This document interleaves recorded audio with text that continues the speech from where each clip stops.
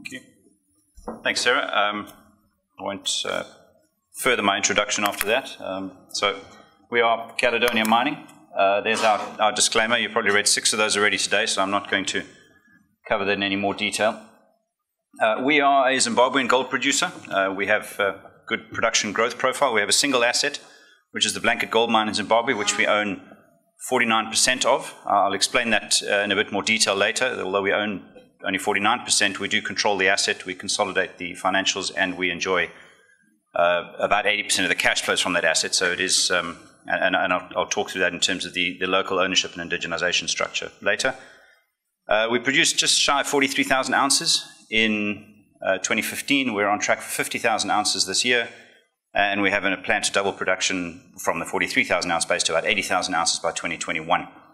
Cash costs uh, 643 last quarter, sorry, year, year to date, uh, 643, all in about 950. Uh, with our uh, expansion plan to double production, we're likely to get that cash cost down, so the, the all in sustaining down to somewhere between seven and eight hundred dollars an ounce all in, mainly because of just the benefits of additional volume as we as we move more tons. We have net cash in the bank of 12.4 million at our last quarter. The only debt we have is small short-term bank overdraft facilities, so no long-term debt of, any kind and we pay a dividend. Uh, the dividend yield jumps around a bit. I think I was just checking before I got up. The dividend yield's about uh, just shy of five and a half percent at the moment, and, and, and, we're quite proud of that. And the dividend's very well covered, so um, more than ten times covered on operating cash flow and um, a payout ratio of, of, of below 25 percent. So we can certainly afford the dividend, and uh, we have every plan to keep it and possibly grow it. So Zimbabwe, we about 80 90% of the questions we get from forums such as this uh, relate to uh, not the quality of the asset, not the operations, not how they're performing, nothing to do with the business, but what about Zimbabwe and how do you uh, manage to get business done there? So we like to deal with that head on. Uh, a general comment, I'll talk through specifically all of these, uh, these points, but a general comment is we are quite happy operating in Zimbabwe. We find uh, it, it's a fine place to do business and it's been a very, very profitable investment for us as a company over the last decade. We uh, gold mines of this sort of scale do not depend very heavily on large infrastructure and resources. We don't depend on pipelines or railway lines or anything like that that the bulk operations do. And we're relatively small scale. We can fit a month's production from this mine into a briefcase. Uh, we don't do that, but uh, that, that gives you a sense of, of, of, the scale of things. We are about an hour's flight from Johannesburg and about a three hour drive on a paved road all the way up to the mine gate. So we can get critical spares, and we've done this before. We can get critical spares on the back of a truck, and it can be at the mine the next day. Uh, it, it is really a, a, fine place to do business uh, for, for small-scale gold miners such as, such as ourselves, and, and, and, we're quite happy operating there. Uh, in terms of the specifics, the political environment, uh, ZANU-PF has been in power in the country uh, since, in, since um, uh, essentially post the Civil War, uh, the last 35 years. relatively stable government. We, we do find them uh, pragmatic, uh, although constrained by a very tough economy. I'm not talk about the economy later, but uh, they do they do uh, go to great lengths to, to, to, help the gold miners because of a, a, significant shortage of foreign currency in, in the country at the moment, and we're a, a large generator of foreign currency along with the, the platinum and gold mining sector.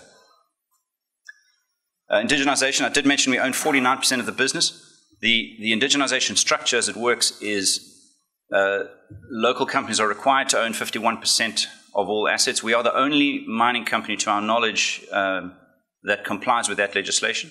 How that deal was put in place is essentially similar to a South African black economic empowerment structure, where uh, we sold 40, 59% of, 51% of the business and kept the 49 uh, to local Zimbabweans for a vendor finance loan of $30 million. That loan carries interest, and we enjoy preferential rights to the dividends paid out of Blanket Mine until those loans are repaid. So the simplest way to think about it conceptually is although we own 49% of the business, we enjoy about 80% of the cash flows until those loans repay in about 2021.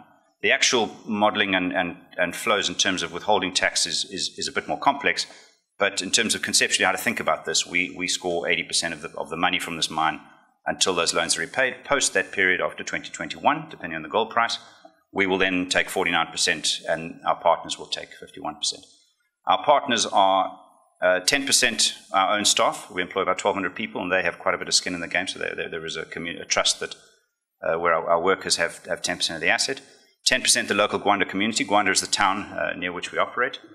15% uh, to a group of uh, Zimbabwean businessmen, uh, th- three private Zimbabwean businessmen, and 16% to the Zimbabwe government. So it's a, it's a well spread out structure. It, it, it, works for us. It's been fully improved by the um, Ministries of Indigenization and the Reserve Bank. And this does give us a tremendous amount of goodwill in the country. And it also gave us the, the stability to invest in the program, which I'll talk about now, where we are investing to double our production, which we would not have done with this ownership question mark hanging over our heads. So, so we're quite happy operating under that environment. Economically, things are very difficult in the country. I, um, I always show this in uh, the country, but I have a 100 trillion Zim note, which anyone can have a look at later. Uh, I got that in about 2008. At the time, it was worth about a tenner. Um, and the, the, the, the Zimbabwean economy uh, collapsed. We shut down the mine in two, early 2009 because we, we, we couldn't make it operate, uh, getting paid in Zim dollars, and the, the, entire country ground to a halt. They dollarized the economy, and uh, things have uh, uh, recovered quite from a very low base since then. Uh, there are still liquidity challenges in the banking system, and uh, you, those of you who follow the, the, situation in the country would have seen the introduction of bond notes. If there's any questions that I'm happy to happy to talk about that later. Uh, they don't materially affect our business. Infrastructurally, I've talked about that already. There's paved roads all the way to the mine. We have everything we need. Electricity is grid supplied. It is bought in from Zambia, Mozambique, and South Africa. Uh, we have issues with quality of supply, and it's expensive, but we get grid power, and uh, we are uh, managing that situation as best we can in terms of putting our own voltage regulators and, and uh, additional investments in. So we, we, we, do have grid power, and um, yeah, it, it, it, um, it works for us fairly well. Uh, very good people, uh, soft infrastructure. We have a very well educated workforce. If you come to our mine, the, it is 100% run by Zimbabwean people, uh, from the mine manager all the way down. There's no language barriers. It, is, um, it really is a, a, a, shining example, we think, of, of, of a good um, operating model in the country um, and, and, and works quite well with, with very good people. Uh, there are exchange controls, and liquidity is very tight, but we do uh, we've been paying a dividend now for, for four years, and the only source of that dividend is the profits from the mine in Zimbabwe. We get our remittances uh, out of the country. We have uh, management fees that are paid by the mine uh, to our to, Caledonia as an operating business. So the liquidity situation is tight, but we continue to um, to, to, get our profits out of the out of the business, um, and it's been, like I said, a very profitable investment for us. This is our capital structure. I'm not going to talk in a great deal of detail. Our market cap is currently about um, $52 million, uh, sitting at about a dollar a share. The only thing I'd probably draw to your attention is uh, our shareholding, which is uh, yeah, Allan Gray is our largest uh, institutional shareholder. They own 13.5%. That is a South African based fund manager. Uh, and then management shareholding is about 1.6%. Uh, so fairly small management shareholding. However, we are quite strongly incentivized for, to the share price via a long term incentive structure. So although we don't own directly shares in the company, many of our management are based in South Africa, and exchange controls prevent them from owning shares in foreign companies in, offshore. Uh, a big part of, of, of my remuneration and uh, my colleagues' remuneration depends quite heavily on the share price. So we do, we do have quite a bit of skin in the game. You can see our share price has been a bit of a, a roller coaster run as well. We had a, we had a great run up uh, and, and have now come back. We benchmark ourselves uh, against the GDXJ. Uh, we've still outperformed that largely thanks to our dividend, which is uh, there's a cumulative effect of the dividend over those years. But it's, it has been a, a, bit of a roller coaster ride. These are our resources. Uh, we have just shy, or just, just north of 1.2 million ounces of, of gold in, in, in, the ground. About half of that is measured and indicated, and another, half is, is inferred. This gives us, at the moment, about 10 years of life. you can see the chart on the, on the um, on the right here, this is our, our resource base as we've operated the mine. So this is including depletion. We've got a good track record of, of resource replacement. Uh, the comments I'd make on resources are, are, basically as follows. This is, this is a vertical ore body, um, which is prohibitively expensive and logistically difficult to drill to any level of confidence at depth. So we can only drill about 300 meters below us. It's, a, it's basically a, uh, essentially a number of, of, of, about, about four gold-bearing ore bodies that just continue vertically to the ground. So it's not like the large tabular ore bodies you see on the Wits Basin, which go out flat in every direction, and you can drill out 20 years of underground mine life quite comfortably. This mine's been going 110 years, and at no stage in that did it have a 110 year mine life. So there's always a leap of faith uh, from an investor's perspective that we will continue to discover gold resources below. We, we do not feel resource constrained as a business. We're very comfortable. We have 10 years, and we would expect to continue, as we did earlier this year, uh, resource uh, upgrades that will give us probably about 18 months of new mine life for every one year of production. That, that, that, that's the plan. So we'd like to see a rolling 10 to 15 year mine life for this asset going out for the next decade. Uh, beyond that, uh, we, we, um, we, we, need to understand, we, we, uh, in terms of the depth of the ore body, we've only put drill holes down about, about 500 meters below where we're going, so we're currently at a depth of 750 meters. Uh, we know the mineralization continues down to about 1,200. Our neighbors are at 1,500 meters, about three kilometers away. That's no guarantee that we'll get that there'll be gold at 1,500 for us. But these type of ore bodies do tend to go very, very deep into the earth. Those of you who know the Barberton mine in South Africa, they're down at three kilometers. There is every reason to, um, to, to expect the mineralization to continue. And like I say, we don't feel resource constrained as a business. This is our production profile. We, we acquired this mine from Kinross in 2007. It was in pretty good nick when we bought it, and there was a, a production, a, a, shaft expansion plan um, to, to, to, increase production. So these, uh, this, this, this phase over here, this phase one uh, area, was a very good time delivering rising production to a rising gold price. That's about getting to about 40,000 ounces a year. Phase two, we hit uh, some grade issues in the mine, and we were probably guilty of uh, inadequate underground development, uh, not, not essentially digging enough tunnels underground to give us the flexibility. So if you look at our grade profile, we, we, the average grade of the ore body is down there. We, we shouldn't have been mining uh, sort of four and a half gram rock here. If we'd had sufficient development underground, we should have been uh, getting to being able to blend lower grade areas of the ore body to manage, manage grade more effectively. So grade declined uh, over these few years. You saw that had, had an effect on production. We weren't able to compensate with additional tons. Um, getting on to phase three, our chief executive moved on about two years ago, uh, and uh, we had a, a, new management team in with a new operating uh, chief operating officer who set about busying himself uh, investing in a new mine plan, which I'll, I'll talk about shortly.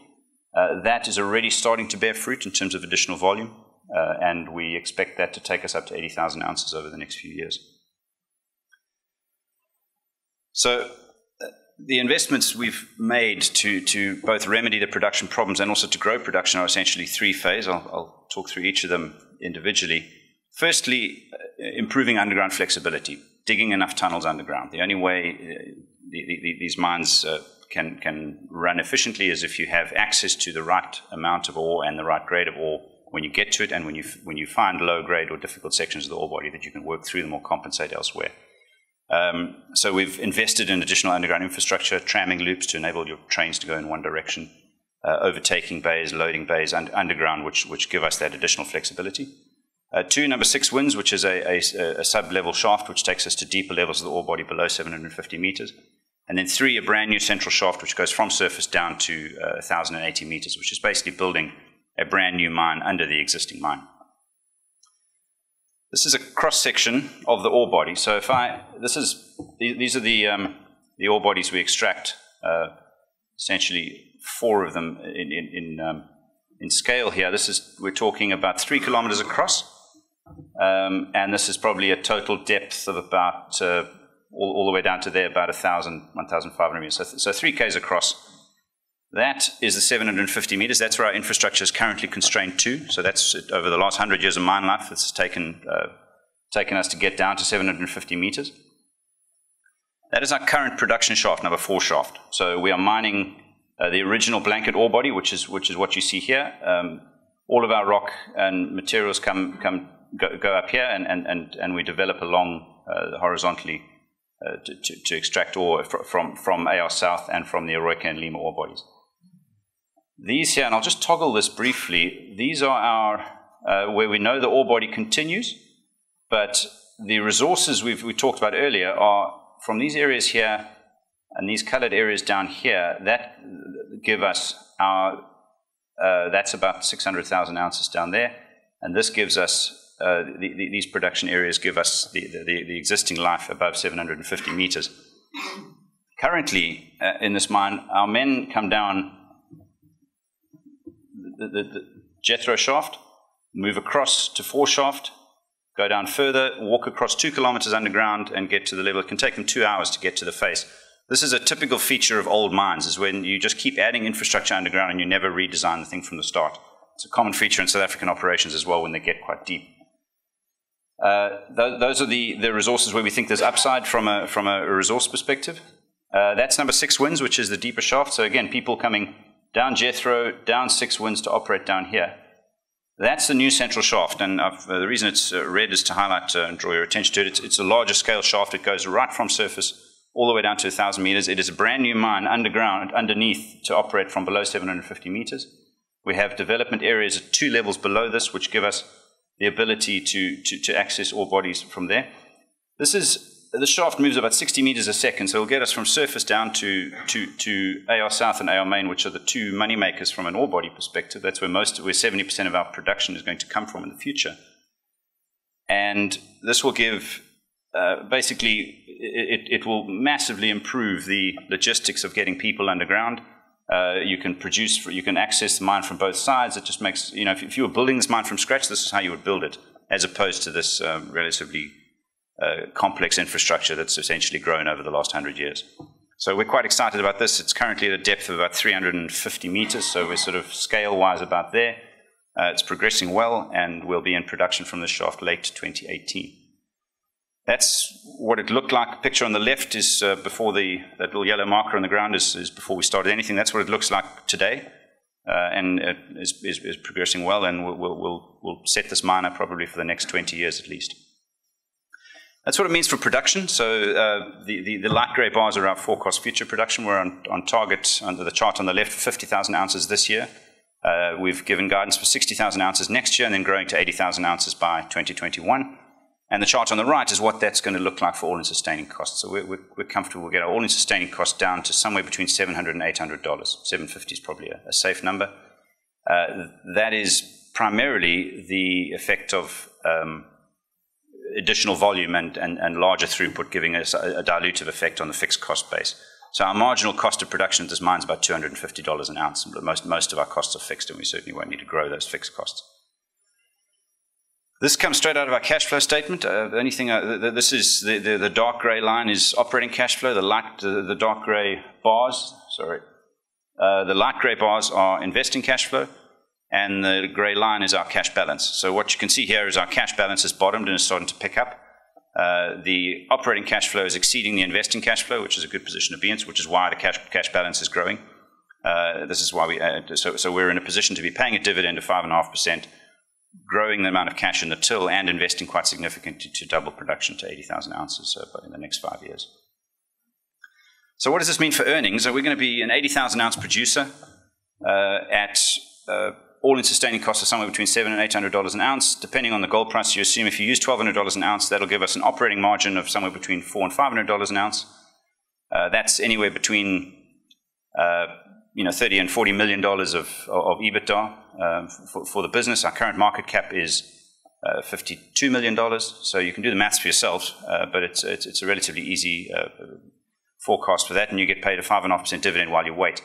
If we take all of that out, uh, you know, the minority interest out, even if we, uh, the, the, the, repayment of the facilitation loans of $30 million that, that we've loaned the indigenous partners, and if we just take it down to our 49% share in the business, um, I'm going to jump ahead to a slide uh, on dividends. Uh, we will be in a position to substantially increase the dividend we pay. So, so this is a, our dividend yield. We're currently sitting at about 5.5% with a payout ratio of 33%. Uh, we think that puts us uh, relatively high among, uh, among the, the London listed gold mining uh, businesses. And we'll be in a position to grow this dividend quite substantially. So if, if you take the, the, the numbers I, I, I, put out, mentioned earlier, even our 49% holding in that will enable us to increase this dividend by, by, factors, not by percentages. and and that, is, that is the plan. we're all quite heavily incentivized on, uh, quite heavily incentivized on the share price, and any any uh, M&A activity we look at will certainly have to do better than uh, giving this money back to shareholders. Very briefly on capex, uh, that the only thing to notice there is our next year's capex is $18 million, but it drops off quite substantially. So the, the cash generation from this business, capex is falling off in 2018 and 2019 uh, quite significantly. I'm going to skip through this because I've taken too long. My apologies. Um, But in summary, we, we have um, a very good dividend yield from the business. So we think to get paid 5.5% while you, while you wait for, uh, for, for, the production growth is, is, is, is, a good proposition. Uh, we have very low cost operations, um, all in sustaining for the year, $950. Run rate at the moment, given the production growth we're seeing, is uh, probably lower than that, and we expect, um, we, we, expect our, our, cost to be closer to $900 all in uh, next year. Uh, we have growth potential. We're doubling production, and we don't feel resource constrained. We think there's plenty more gold down there. Uh, we've got at least 10 years life that we know about, and probably another 10 years uh, if, we, if, if, if, we, if the exploration turns out uh, the, the, way we think it will. Um, and we have a very good management team. Uh, part of the reason we have good relations with the Zimbabwean government, and um, Steve, our chief exec, is, was, grew up in Zimbabwe and, and has, has very good relations there, and is, is um, we're, we're quite happy operating there. So that's, that's all I've got. I hope that's um, interesting, and I'm happy to take any questions. It is interesting. Great. Maurice, well done. I tell you what, management have a lot of skin in the game. That really sounds painful. That really sounds painful. But uh, year to date, the share price has increased by 119%. We haven't mentioned that. Um, dividend payout 5.5%, and you went from we're going to possibly grow the dividend to substantially increase the dividend. That was the last thing you said. That's what we're going to hold on to. But of course, as you've said, management have got a lot of skin in the game. You don't feel resource constrained, but I think that that is dependent on this central shaft. You're hoping to have it in production by 2018, which is only 12 months away. Is that uh, totally? Late, late 2018, I said, I think. But uh, yeah, so, so it'll, it'll be, we'll get, to, we'll get down to that depth uh, in 2018 and we'll be in production towards the end of 2018 from there.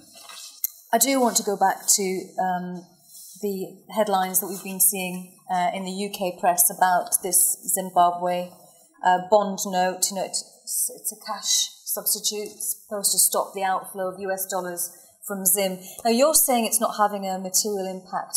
You know, it's not having an impact on you, but surely it's, it's having an impact on your workers, and you might have a morale issue to deal with? Uh, we, we could, I suppose, uh, with, with, respect to our business, which is anything I can comment on with any authority, um, we get paid in US dollars, that's not changed, and if it did change, we would notify the market immediately. So we, have been getting paid in US dollars since they dollarized the economy. Uh, the current payment arrangement's been in place since 2014 and works very effectively for us. And I think there was a press release out this morning just, just clarifying that because of some of the, some of the questions. Um, the, the bond notes are a symbol of a essentially a symptom of a critical cash shortage in the country, and that, that that's not good. Uh, worker morale, paradoxically, we, we believe it actually helps us because we're a very good employer in the country. We pay well above market rate. We're a stable employer. Our workers live on the mine. So, although economic conditions are very tough, uh, we they're very grateful to have a job with us, and they have shares in the company. So, uh, yeah, it, it's a difficult environment, Zimbabwe, and, and those bond notes are, are, a symptom of that. But we, we, we think, yeah, certainly our, our workers are I mean, a stat I often quote without knocking some of the, the, the uh, operations to the south of us. Um, you know, our workers work 350 days a year, and that's not because we force them to. That's we get 350 days a year of production out. Uh, I think some of the South African operations work substantially below 300. So, uh, in terms of underground operations, so it is. It, it's a we work. We're happy to have the, the staff we have. You're an investor in people and workers. Yeah. Okay, question from the floor. Okay, one, two, three, four. Yeah, thank you. It sounds like a very good growth story. So, other than the price of gold, I mean, what are the main risks to to you know the increases in growth that you've discussed, and especially around the, the doubling the production? So, it is basically building a new mine, right? It, it, it's a it's an underground mine right from surface. Uh, we understand the ore body very well. Uh, you know, half the gold comes out in gravity. Uh, we know it's not refractory, so we've been mining this for, for a long time. So, so those risks are, are, are, substantially reduced. That you would, you know, the normal construction risk you would have. You know, we lost a few days production uh, earlier in the year uh, because of power cuts on the um, at the central shaft. So th- there are, uh, I suppose, the only the only risk materially from that is, is a timing risk. I don't see us not pulling it off and just this thing being a complete white elephant. It's just a question of whether we whether we get it done by 2018. Uh, we're very heavily incentivized to get it done by 2018. Um, my, even as the corporate development guy, my targets depend on the production people getting down to that depth and being in production by 2018. So, uh, other risks for the business: uh, electricity supply is, um, is, is, there's been a, a, lack of investment in the Zimbabwean grid, so we're having to make investment our side of the pipe, which normally would be made their side of the pipe. So, so that we're spending I think four hundred thousand dollars next year on uh, voltage regulators and transformers to, to, to manage that. So we're, we're, doing what we can there. Um, liquidity is a, a, an issue in the, in the country, but we, we, we get our money out. We pay a dividend every quarter. It goes into the pockets of our shareholders. Um, so without, uh, yeah, uh, no, we're, we're, quite comfortable that um, the, the, the, asset is a great asset, uh, which, which has been a very profitable investment for us. And, and we, we manage the, the operating environment as best we can. And you've done a lot of de-risking prior to yes. it as well. Yeah. So who, who had their hands up? the gentleman there. Just one question, please. I am a shareholder of Caledonia, but I don't remember going to any AGMs. You have them in London? Uh, we used to have them in Canada when we were a um, listed. We recently re-domiciled from Canada to Jersey. Um, we're now a Jersey-based company. To my knowledge, the, um, the AGMs will be, will be held in Jersey. Um, yeah, that's why I don't go. Uh, also, I, I, don't remember getting four dividends a year. So you should be. We're paying out four dividends a year. So. Yeah, I had to check that somehow. Yeah, where, where are you held? Uh, London or, or, Toronto? London. London. Oh, they uh, come from Canada, do they? The dividends come from Canada? Uh, not anymore. So they used to come from Canada and they used to be withholding tax for non Canadian citizens, which is the, the main reason we, we relocated uh, which gave people a, a, an uplift in the dividend. We, we, definitely pay four years. If you're not getting them, uh, some, someone is. So we, yeah. Who was my number three? Just bring them up for him.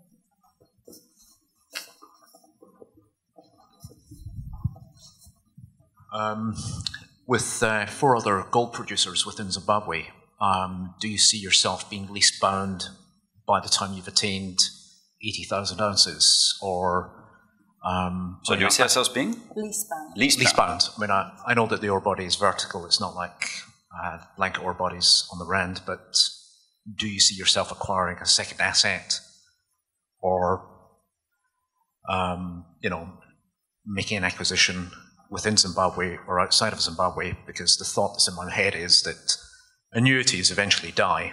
And you think back to Harmony, um, the existing mine was disbanded. and uh, so, so um, yes, we, we, are looking at at assets, and in our in our quarterlies this this quarter we had um, an exceptional cost for uh, appraisal costs of an asset, which we eventually decided not to go ahead with.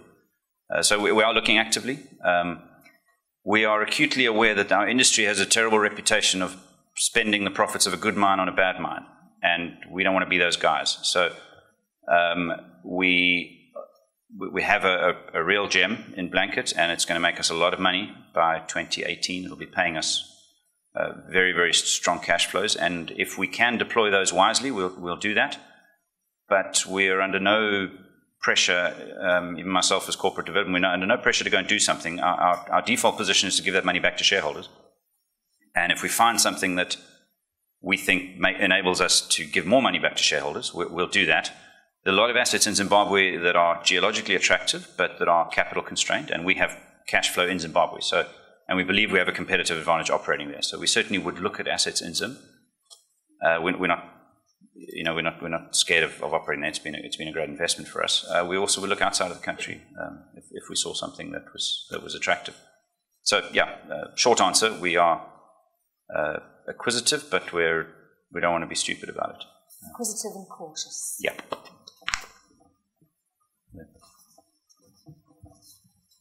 Is your workers' pay fixed in US dollars? Yes. Uh, yeah, the workers get paid in US dollars. The uh, annual adjustment is negotiated with the Chamber of Mines, and it's a mildly deflationary environment, so uh, salary increases are, are, relatively low single digits. Um, our workers are paid better than, than average, um, and yes, they, they, get paid in US dollars. Uh, some of them uh, still get paid actually in cash, but, but that's moving uh, more and more to, to, to, to, bank transfers. But yeah, every, everything operates in US dollars, our, our entire business. Okay. One final question. Nobody. That's it. Thank you very much. Thank you very much, Yeah. Maurice. Great.